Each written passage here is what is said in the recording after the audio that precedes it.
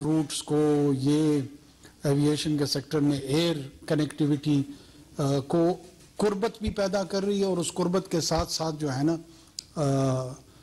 एक people centric approach के तहत लोगों को मौाक़े फरहम कर रही है कि वो उससे माशी तौर पर मुस्तफ़ हो हैं समाजी तौर पर मुस्तफ़ हो सकें और एक बेहतर तर्ज ज़िंदगी या जो लाइफ स्टाइल है उसको अपना सकें।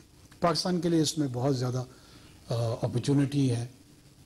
हमारी तरफ़ से प्लानिंग कोऑर्डिनेशन कोऑपरेशन जो तीन स्लोगन्स हम वहाँ से लेकर आए हैं, वो ये है कि इस पे फोकस रहे।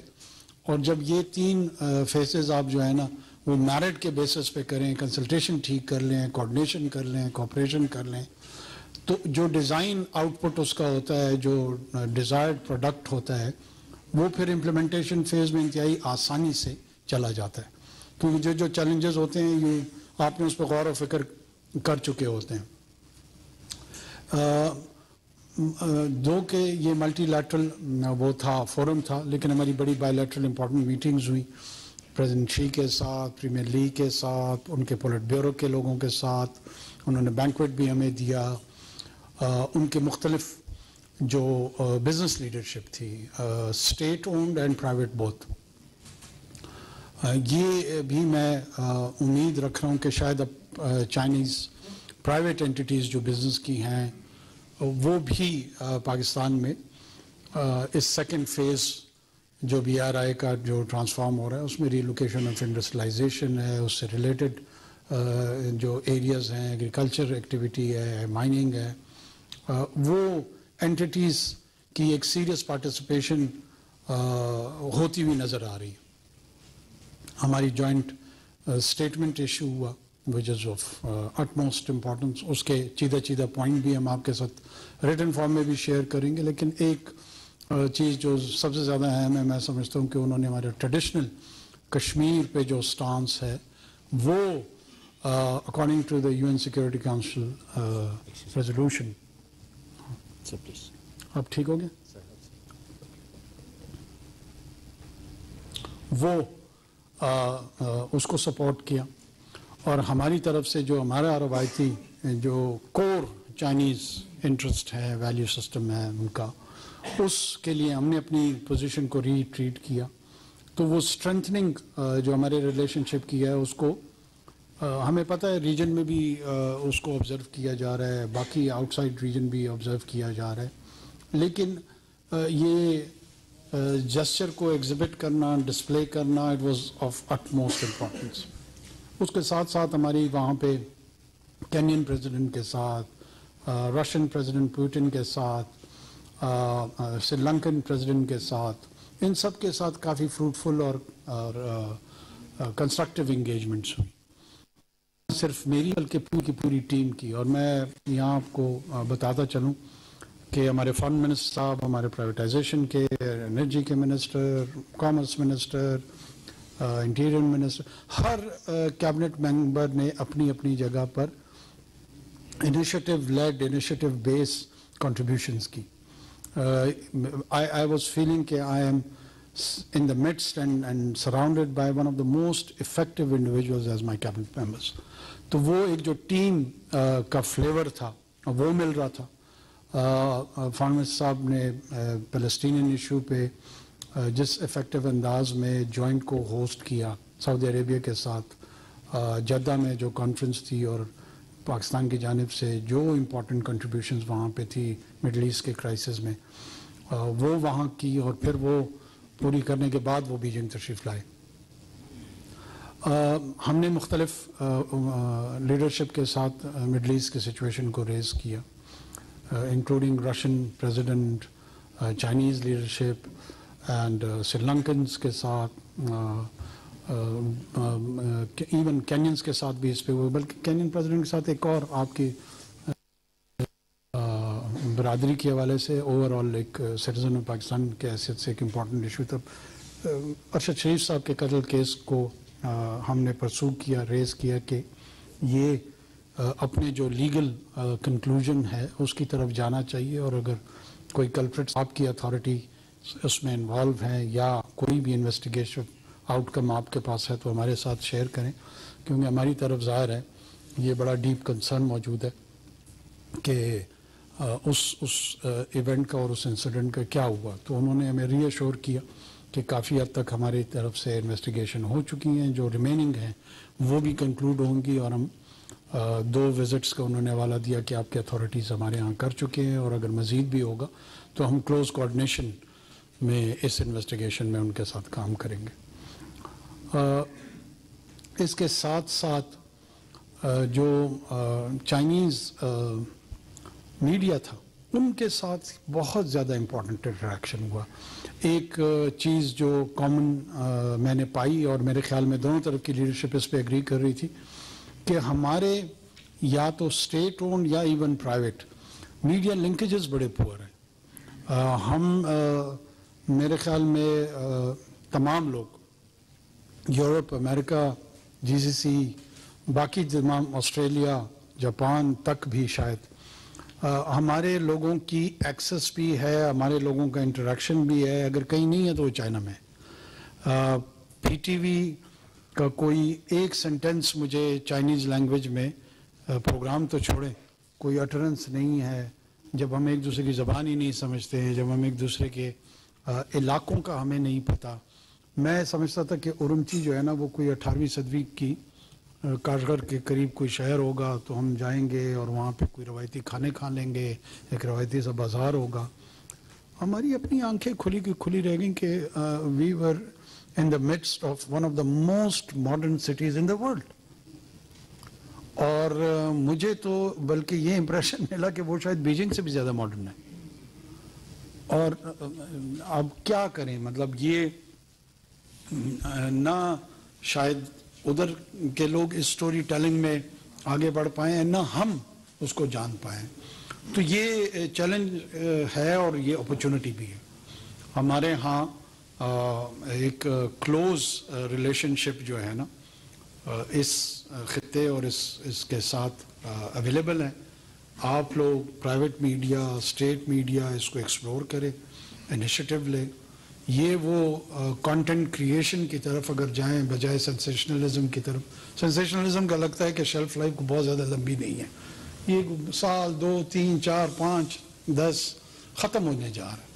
लेकिन एक्चुअल सर्वाइवल uh, उन्हीं ग्रुप्स का होगा जो सीरियस कंटेंट पे जाएँगे डाइवर्सिफाइड कंटेंट पे जाएँगे इंफरटेनमेंट uh, का जो नेचर है वो वो तब्दील होने जाएगा। और अगर किसी ने आ, uh, उसके साथ एडजस्ट होने की कोशिश नहीं की तो वो डायनासोर बनेगा। तो डायनासोर बनना है तब भी मर्ज़ी है और दूसरे का जो सर्वाइवल वाला जानवर है उसका नाम मैं लेना नहीं चाह रहा हूँ। लेकिन रियलिटी बेस्ड देख के अपनी असेसमेंट खुद करे।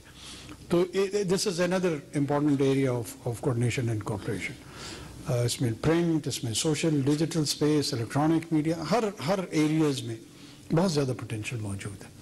स्टोरी uh, टेलिंग की गुंजाइश है डॉक्यूमेंट्रीज की गुंजाइश है और कंटेंट uh, क्रिएशन की गुंजाइश है।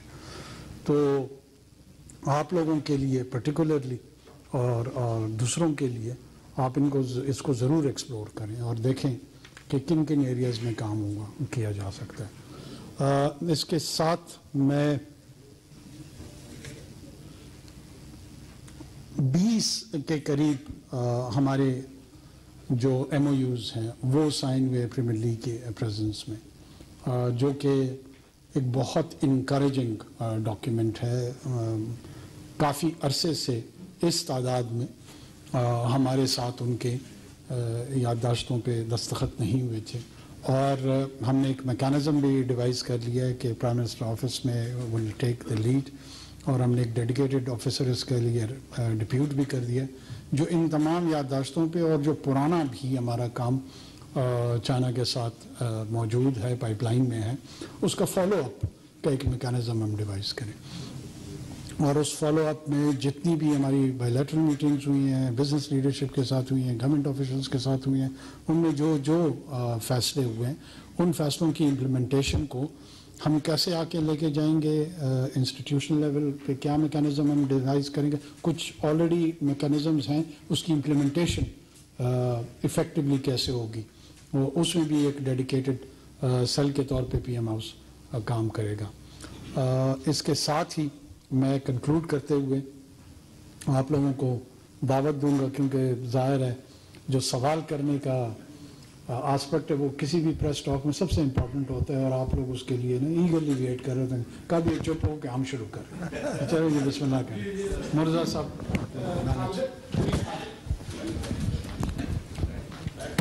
अस्सलाम वालेकुम तशरीफ़ रखें तशरीफ़ रखें आपने तारीखी दौरा चीन का किया जिसमें 20 एमओयूज पर दस्तखत हुए और आपके लेफ़्ट साइड पे बैठे हुए वफाकी वज़ीर इतलात ने अभी गैर रस्मी गुफ्तु में ये हम, हम लोगों को बताया कि आठ अरब डॉलर की सरमायाकारी सिर्फ़ दो M O Us M L one और पेट्रोलियम सेक्टर के में आ रही है। मैं आपसे पूछना चाहता हूँ कि ये 20 एम ओ यूज़ साइन हुए इससे कितनी सरमायाकारी की तो है? और एम एल वन के बारे में कौम जानना चाहती है, वो 20 साल में मुकम्मल होगा 15 साल में मुकम्मल होगा। एक, अगर मुझे इजाज़त दें तो एक मैं गरीब का सवाल करना चाहता हूँ। पाकिस्तान में पचहत्तर साल से गरीब पिसता जा रहा है, महँगाई बढ़ती जा रही है। दुनिया के ममालक में जलील अब्बास जिलानी साहब से पूछ लें कि वहाँ क्या होता है? वहाँ कंपटीशन कमीशन कंपटीशन एक्ट में सजा लिखी होती है कि अगर कार्टलाइजेशन साबित हो जाए ये आर्मी चीफ साहब ने भी कार्टलाइजेशन के बारे में अभी कोर कमांडर में कहा कॉन्फ्रेंस में कहा है कि कार्टलाइजेशन अगर साबित हो जाए तो फिर उसके मेंबर्स के कारखानों को इंडस्ट्री को सरबराहों को कैद की सजा दी जाती है। पाकिस्तान में कानून में ये सजा आप कब निगरान वज़ीर आज़म नहीं, मैं कह रहा, मैं वज़ीर आज़म पाकिस्तान से पूछ रहा हूँ कि वो सजा जो है, कैद की सजा, कार्टलाइजेशन बनाने वालों को, गरीबों का बेड़ा गर्क करने वालों को, गरीबों को रुलाने वालों को, क्या आप करके जाएँगे या हम नई हुकूमत की तरफ़ देखेंगे? ख्वाहिश नई हुकूमत की तरफ़ ही है तो बस ख़त्म हो बात। वो तो हम भी यही चाहेंगे। देखें ये कार्टलाइजेशन के कानून के इम्प्लीमेंटेशन में एक प्रोसेस तो ये होगा कि पहले एक्यूज सामने आए हम उसके खिलाफ कानूनी कार्रवाई की इब्तदा करें। जो सजाएँ देनी है वो तो मैंने नहीं देनी है वो तो अदलिया ने देनी होंगी। शायद सी बात है।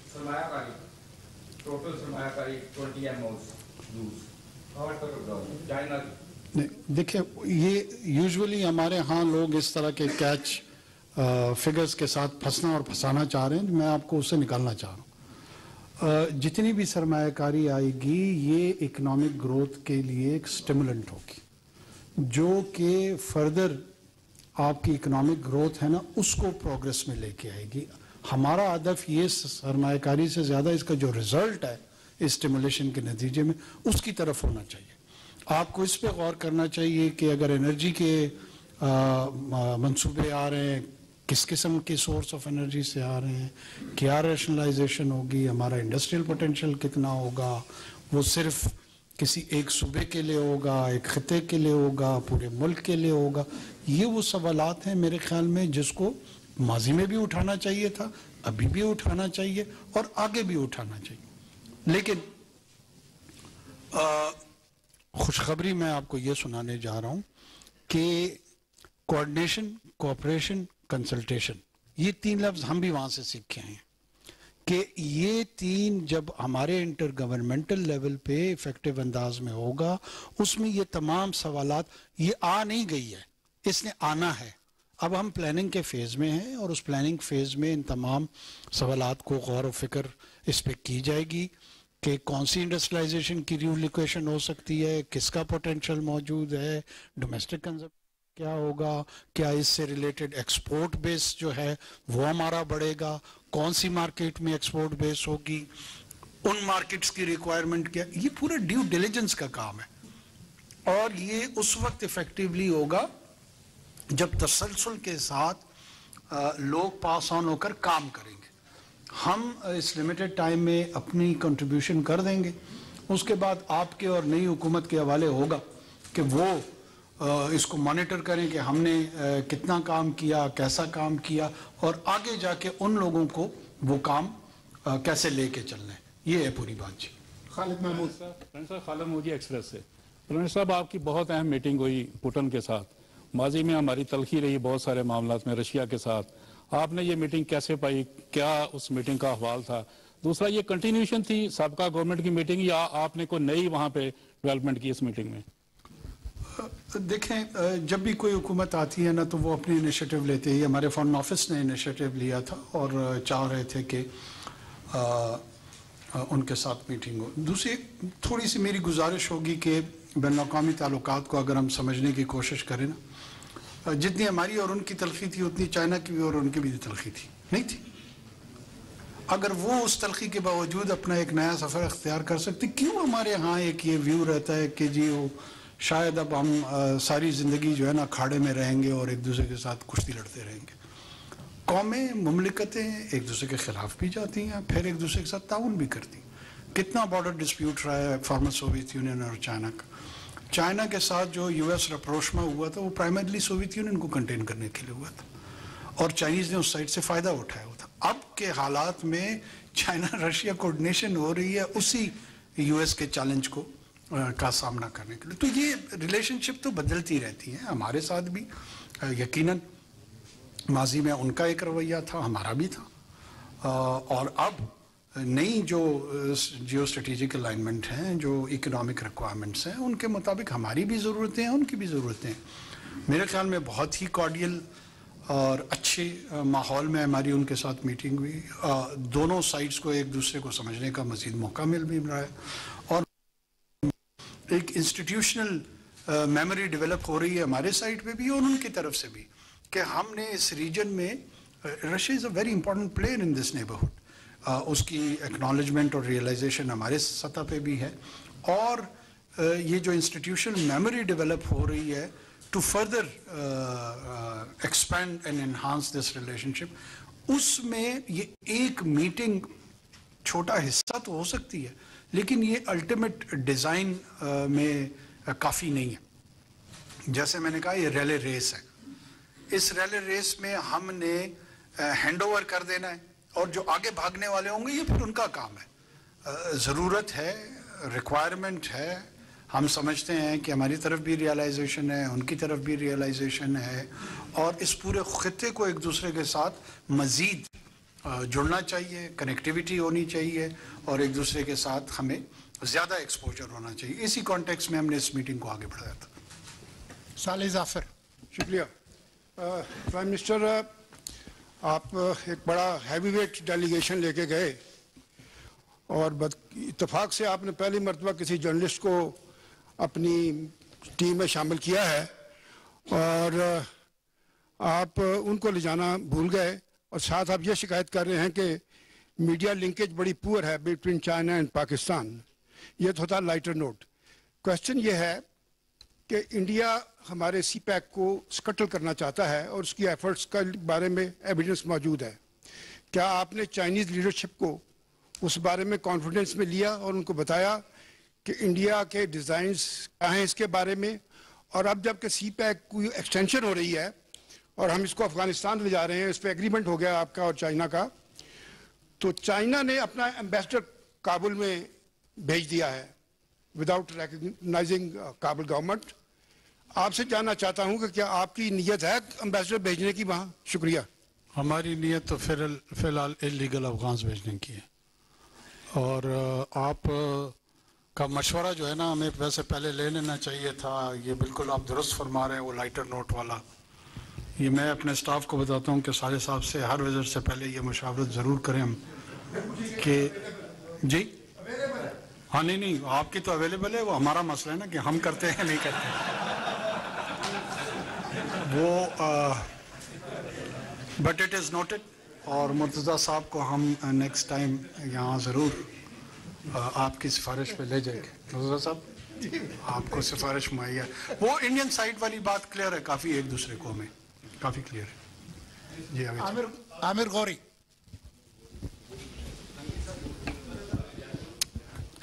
प्राइम मिनिस्टर साहब दो छोटे छोटे सवाल हैं। एक तो ये है कि जो जितने आपने एग्रीमेंट्स किए हैं पिछली दफ़ा हमने देखा था कि जो पीएमएलएन की हुकूमत ने किए थे एग्रीमेंट्स चाइना के साथ वो पीटीआई की हुकूमत ने आके उनको कंट्रोवर्शियल किया, उनके वजीरों ने बयान दे के कि हम सारा मामला देखेंगे।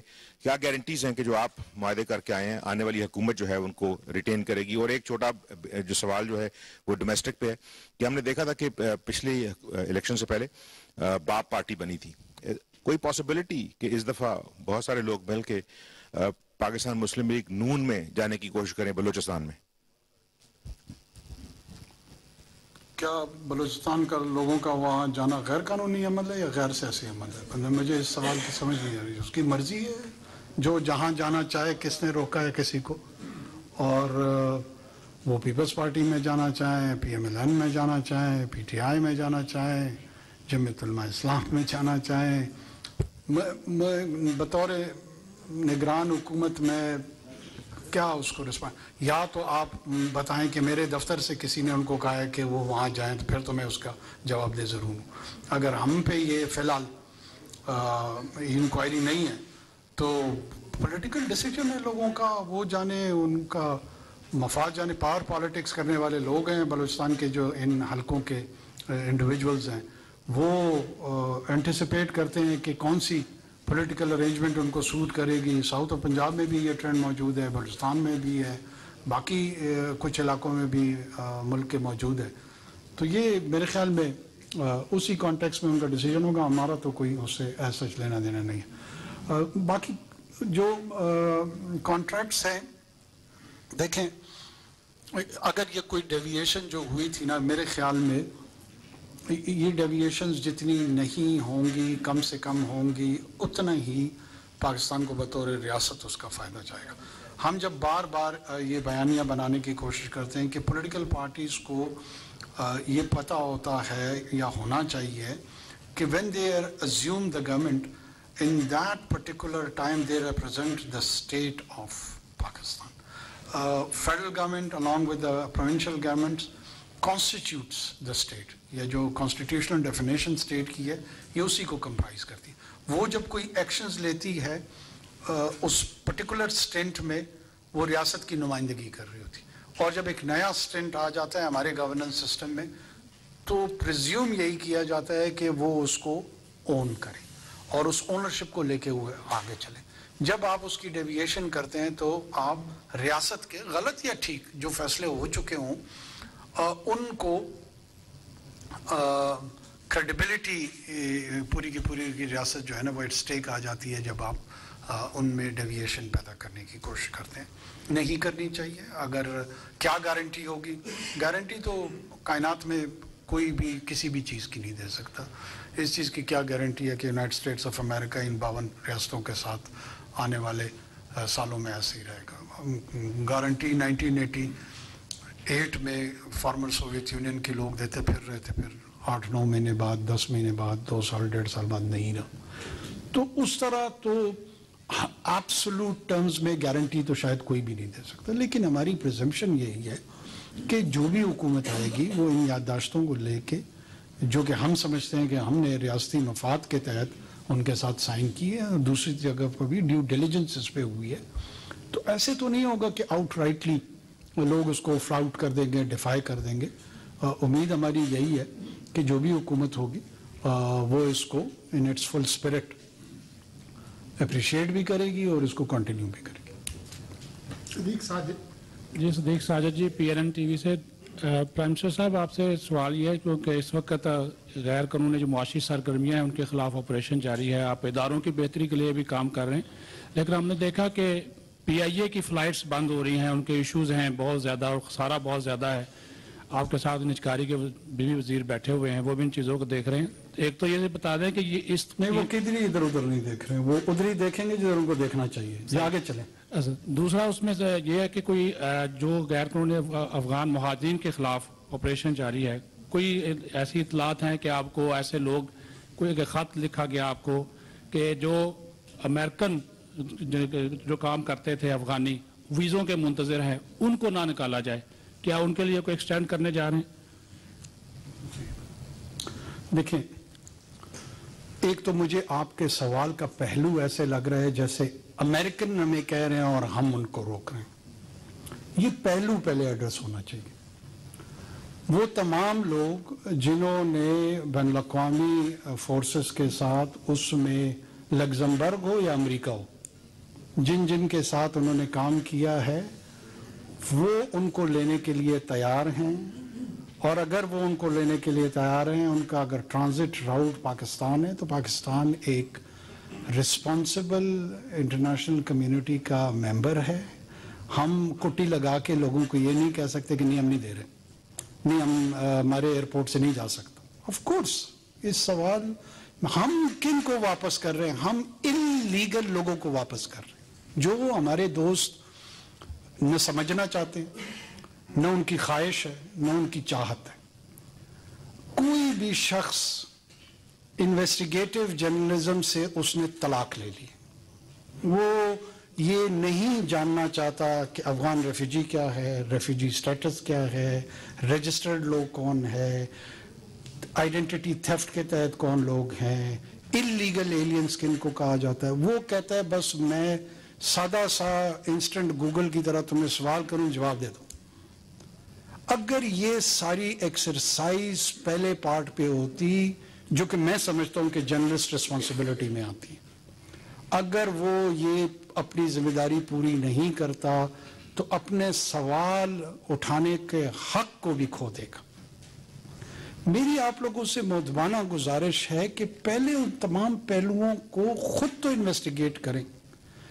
फिर आप ज़रूर हम पे नुकताचीनी भी करें, हम पे सवाल भी उठाएँ, गिला बेजा भी करें, कोई तो लाजिम है शूर हम अमेरिका या बाकी दुनिया के जितने लोग हैं, उनके साथ आप non NATO ally, major ally नहीं था पाकिस्तान? क्या आपने वॉर एंड टेरर में नबे हज़ार लोगों के साथ कंट्रीब्यूशन नहीं किया? अब उसी जंग में जो लोग अफगान उनके साथी थे, वो उनको अपने साथ ले जाना चाह रहे हैं। तो हम अपने मुल्क में ट्रांजिट स्टेटस उनको नहीं अवेलेबल करेंगे। क्या वो इलीगल हैं? वो इलीगल ही है। वो तो यहाँ पे रजिस्टर हो गए हैं। उनकी लोकेशन का हमें पता है। उनकी फ्यूचर डेस्टिनेशन का हमें पता है। हम एक्सरसाइज कर रहे हैं उन अफगान्स की जो गैर कानूनी तौर पे 40 साल से 45 साल से यहाँ मुकीम है और वो भी हमारे दुश्मन नहीं है। हम ये अर्ज़ कर रहे हैं कि वो वापस जाएँ, अपने मुल्क से पासपोर्ट इशू कराएँ, अपने मुल्क से वीज़ा लेकर आए, हमारी तरफ़ आए। हमारी जो मूवमेंट है वो रेगुलेट हो जाए। ये जो इरेगुलर इंटरेक्शन है between these two states for last five decades वो खत्म। हो अगर अपनी ऑब्जेक्टिव जो uh, है हमारा जो मकसद है वो ही लोगों को समझ नहीं आ रहा तो मेरे ख्याल में हमारी भी कोताही है हमारी भी नालायकी है। और जो समझना जिनको चाहिए उनके पार्ट में भी कमज़ोरी और कमी है। ये कम्युनिकेशन का गैप है। ये सवाल का इसलिए बुनियाद नहीं बनती ये हमारे बैन अवी और, और, और जो कौमी तकाजे हैं उनके तहत हमने ये फैसिलिटेशन करनी है। हमने सिर्फ़ उनको ये ज़रूर कहा है कि आपने जिन जिन को लेके जाना है वो टाइम स्पैन हमें बताएँ कब वो जाएँगे कहाँ जाएँगे और इंश्योर करें कि जिनको आपने इन इस कैटेगरी में रजिस्टर किया हुआ है उस टाइम स्पैन में उसकी इम्प्लीमेंटेशन हो जाए उसमें बाज़ अवत उनकी तरफ़ से लॉजिस्टिक इश्यूज़ आते हैं। ये मसाइल हमारे रहते हैं कि जहाज़ जल्दी आए जल्दी ना आए क्यों इतना टाइम लग गया क्यों इतना टाइम लगना चाहिए? ये गुफ्तु ज़रूर होती है लेकिन इस प्रिंसिपल पे कोई इख्तलाफ नहीं है कि उनको हमारी फैसिलिटी अवेलेबल है कि उन्होंने यहाँ से जाना है। आप कोई इसमें एडिशनल चीज़ तो नहीं समझते? नहीं ऐसे ही ओके सर वैस यानी 24 न्यूज़ इस्लामाबाद सर है थैंक यू जी जनाब। सर सर दो मुख्तसर से सवालात हैं। एक फवाद हुसैन फवाद साहब से है कि जो तो सर गवर्नमेंट एंटिटीज़ के हवाले से सर बात करनी है कि उनकी निचकारी कब तक मुकम्मल के कब तक हो रही है। और दूसरा सर ये बताएँ कि इलेक्शन के हवाले से क्या तैयारियाँ हैं? सुप्रीम कोर्ट ने चूँकि नोटिस सर्व किया है इलेक्शन कमीशन और आपको भी फेडरल गवर्नमेंट को भी तो उस हवाले से अब तक की क्या लेटेस्ट सिचुएशन अच्छा मैं समझा तुम रुचि का पूछ रहे हो। चलो कोई नहीं। मुझे पता लग गया कि तुम किस चीज़ में इंटरेस्टेड हो। वो फवाद साहब से क्यों पूछ रहे हो? हम हुकूमत हैं हम अ, इस वक्त हुकूमती तर्जुमान के तौर पे मैं बात कर रहा हूँ। निचकारी का घंटों के हिसाब से दिन के हिसाब से सेकंड के हिसाब से तो हम बताने से माजूर हैं। लेकिन ये ज़रूर है कि हम पूरी तुमदई से कोशिश कर रहे हैं कि जल्द अज जल्द जैसे ही मुकम्मल होगा इन आपके साथ सबसे पहले आपके साथ शेयर करेंगे कि क्या हमने अचीव किया है। दूसरा इलेक्शन इलेक्शन इंशाल्लाह गहमा गहमी हो गई है। मुझे तो लगता है कि इलेक्शन के बहुत जल्द डेट अनाउंस हो जाएगा। मैं और आप इकट्ठे वोट देने जाएँगे अगर हमारे एक ही शहर में रजिस्टर्ड हुआ वोटर और अल्लाह अल्लाह खैर से उसके बाद नतीजा आ जाएगा फिर आगे चलेंगे। अली- अलीना शिबरी। पीछे जाएँगे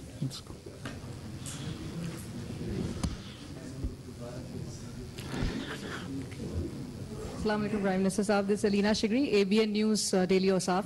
Uh, my question is regarding uh, the domestic politics that is uh, taking place. Uh, आपको पता है सबक वज़ीर आज़म नवाज़ शरीफ साहब uh, मुल्क वापस आए हैं चार साल के बाद और uh, उनकी हवाले से उनको क्रिटिसिज्म का भी uh, सामना करना पड़ रहा है regarding uh, the state machinery that is used for uh, staging a political comeback and your government is also being criticized uh, for playing the role of a facilitator तो state के हवाले से जो कहा जा रहा है that they are flis- thick and deep with the uh, regards to facilitating the former prime minister इस हवाले से जरूर बताइएगा कि uh, किसने इंस्ट्रक्शंस दी थी नादरा को uh, इस्लामाबाद एयरपोर्ट पे नवाज शरीफ साहब के जो बायोमेट्रिक्स हुए थे और जो फैसिलिटेशन के हवाले से जो एक आपको तनकीद का, आपकी गवर्नमेंट को तनकीद का निशाना बनाया जा रहा है, उस हवाले से ज़रूर बताइएगा। एंड जो लेवल प्लेइंग फ़ील्ड है, जहाँ पर आपने कहा कि गहमा गहमी इलेक्शन से मुतल शुरू हो चुकी है with political parties demanding a level playing field peoples party है जेयूआईएफ है पाकिस्तान तहरीक इंसाफ जिनको लोकल एडमिनिस्ट्रेशन की जानब से गुजशतर रोज भी कन्वेंशन की इजाज़त दी गई, लेकिन ऑल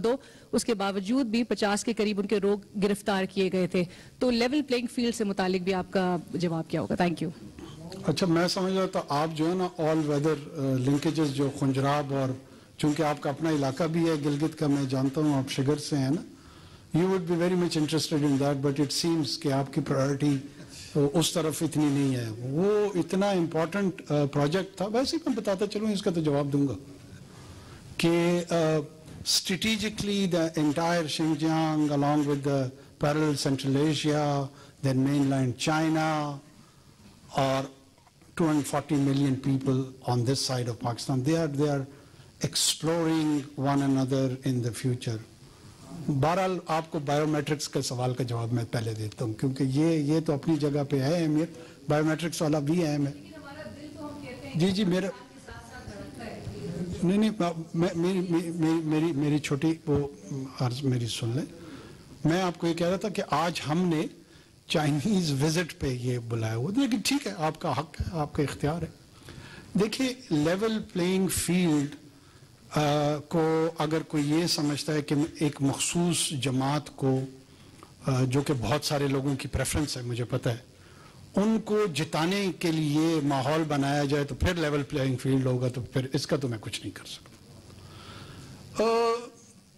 बायोमेट्रिक्स नादरा में अगर आप जाएँ तो क्या पीएम ऑफ़िस की इंस्ट्रक्शंस की ज़रूरत है कि जी अलीना शगरी के बायोमेट्रिक्स होने चाहिए। ये बायोमेट्रिक्स आपको constitution of Pakistan as a right enshrine कराता है। By the virtue of your birth अगर मियाँ नवाज़ शरीफ पैदाइशी तौर पे पाकिस्तानी है, जो कि मेरे ख्याल में है तो उनके बायोमेट्रिक्स होने के लिए कौन सी ऐसी एक्स्ट्रा माइल काम यहाँ पे हुकूमत ने किया है और यहाँ पे नादरा को इंस्ट्रक्शंस गई हैं कि जनाब फ़ौरन पहुँच के उनके बायोमेट्रिक्स ले लें। उसकी रिक्वायरमेंट है he is entitled as a natural born citizen of this country क्या उसमें कोई उनको इस प्रोसेस से गुजरने में कोई पॉलिटिकल एडवांटेज मिला है, कोई और एडवांटेज मिला है तो चलो मैं मैं उस पर भी ज़रूर सोचता। एक नॉर्मल डाटा बेस प्रोसीजर को इस तरह पेश करना कि जी लेवल प्लेइंग फ़ील्ड नहीं है। 2018 में लेवल प्लेइंग फ़ील्ड याद है? वो याद है जब वहाँ पर वो कोई एक महाज बना था। वह साउथ जुनू ऐसे, है? याद है? नहीं, मुझे भूला हुआ है ना, मैं इससे पूछ रहा हूँ याद है? और फिर वो महाज कहाँ एंड अप हुआ? या मैं मैं पॉलिटिकल बातें करना नहीं चाह रहा हूँ, मैं अवॉइड करना। हमारा काम देखिए सिर्फ़ इतना है कि हमने इस प्रोसेस को असिस्ट करना है। जर्नली कोशिश करनी है कि तमाम जमातों को, जो हमारे स्टैंडर्ड्स हैं उसके मुताबिक एक so called level playing field मिले। उसमें उसके बावजूद क्वेश्चंस होंगे, उसमें उसके बावजूद लोग उसको अपनी सतह पे अपनी सेटिस्फेक्शन के लेवल पे नहीं पाएँगे। लेकिन जो बाय एंड लार्ज स्टैंडर्ड्स हैं वो अगर इन प्लेस हों तो we as a government would be quite happy कि हमने अपनी रिस्पॉन्सिबिलिटी फुलफिल कर दी। हम आ, ये नहीं चाहते कि कोई भी पॉलिटिकल पार्टी एंटिटी और उससे जुड़े हुए प्लेयर्स वो पॉलिटिकल प्रोसेस से बाहर हों। Until and unless it is the judicial conclusion अगर अदालती फैसलों के तहत मुझ पे पाबंदी लग जाती है, आप पे लग जाती है, दुरुस्त या गलत, बहरहाल इस निज़ाम के तहत हमें उसको तस्लीम करना पड़ता। ये माजी में भी हुआ है, ये अभी भी हो रहा है, ये मुस्तबिल में भी होगा। अनलेस पार्लियामेंट आने वाली रिफॉर्म कर दे और कहे कि जनाब, जिस तरह वो बाकी ममालिक में भी तहरीकें चल रही है कि जुडिशरी जो भी फैसले करे उसकी जो फाइनल अपेलेट अथॉरिटी वो पार्लियामेंट को कर दे। हमें क्या एतराज़ है? वो डेलीब्रेट कर ले, वो सोचे कि जनाब, ये जो जुडिशल फैसला है दुरुस्त है या नहीं है दुरुस्त? ये वो क्वेश्चन है जो पॉलिटिकल प्रोसेस में चलने अब ये एक डेढ़ दो महीने में हमने कौन सी ऐसी अटेम्प्ट्स कर देनी है कि किसी एक जमात को जो है ना, एक सौ इकहत्तर तादाद में सीटें मिल जाएगी और वो हुकूमत साजी करेगी? अपने आ, मेरे ख्याल में अरब सियासी जमात को फोकस अपने अपने बयानिए पे करना चाहिए।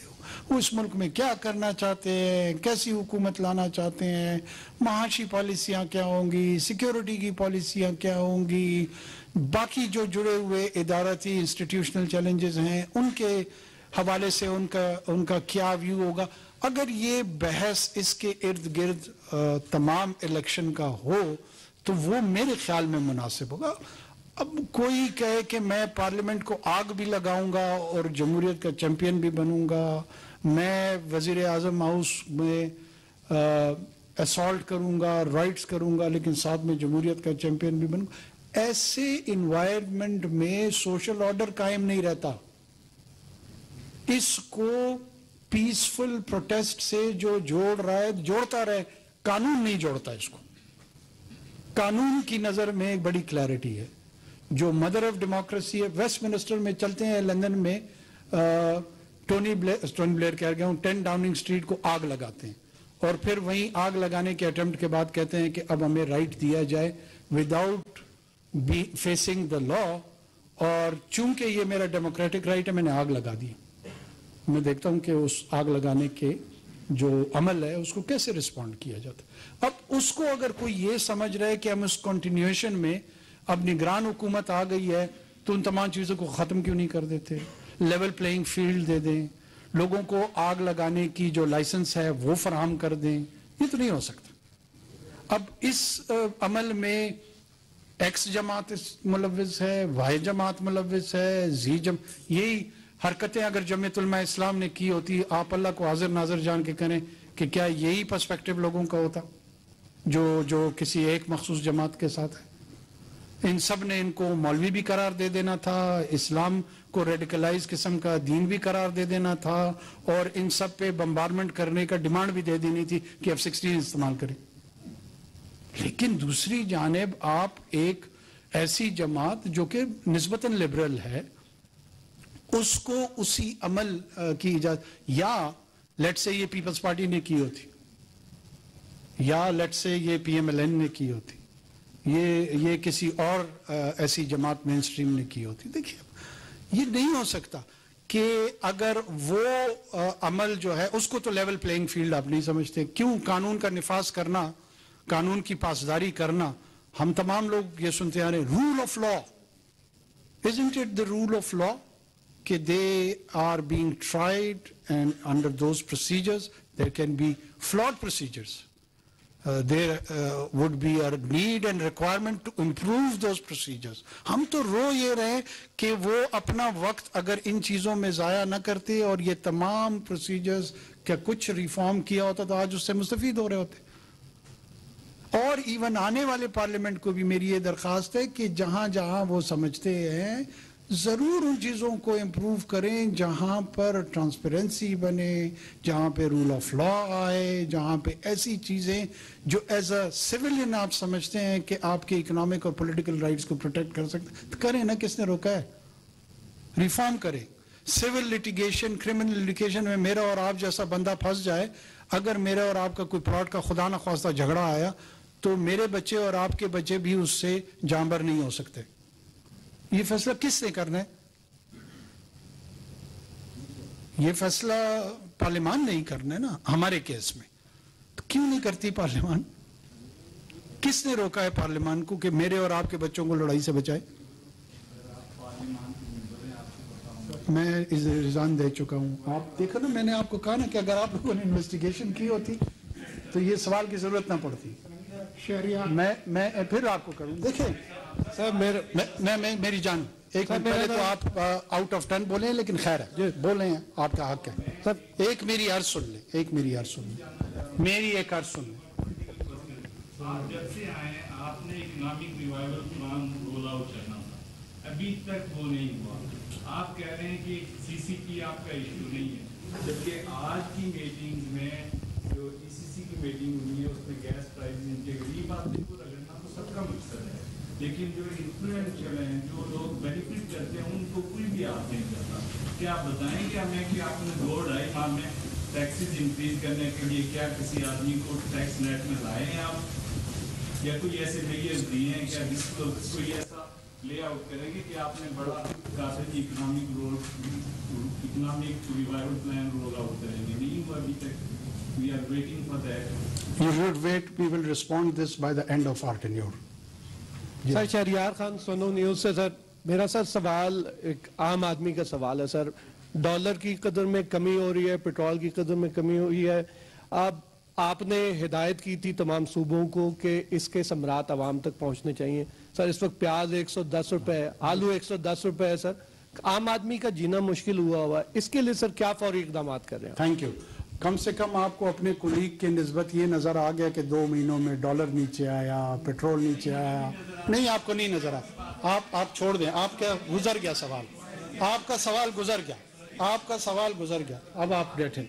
आप please please please please please please you are here where you have the right to ask but not insult हम हम दोनों को म्यूचुअल रिस्पेक्ट में चलना चाहिए। मैं आपको ये अर्ज़ कर रहा हूँ कि ये शुक्र है कि ये आधा हिस्सा आपको नज़र आया कि इसका इम्पैक्ट आया। ऐसा बिल्कुल भी नहीं था कि कुछ भी नहीं हुआ। दो महीने से लोग इंतज़ार कर रहे हैं। जो पचास साल में नहीं हुआ, मैं डॉलर का रेट पाकिस्तान में कभी भी नीचे नहीं आया। क्या किसी ने अप्रिशिएट किया इसको? प्लीज़ और 16 रुपए से मैंने 335 रुपए में डॉलर का सफ़र खुद विटनेस किया है।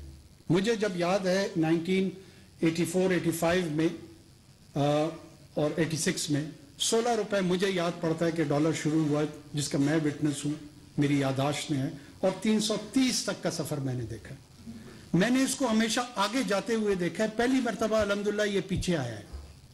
और बहुत ही मीनिंगफुल अंदाज में आया है। अब इसका, पेट्रोल की कीमतों का ट्रांसलेट होना, गरीब, आवाम की, आम आदमी की ज़िंदगी में, उसका आखिर फ़ायदा ये बिल्कुल जनवन बात है। आज हमारी चारों सूबों के साथ जब मैं गया हूँ, यहाँ से चाइना से जा रहा था, मैंने इंस्ट्रक्शंस पास की।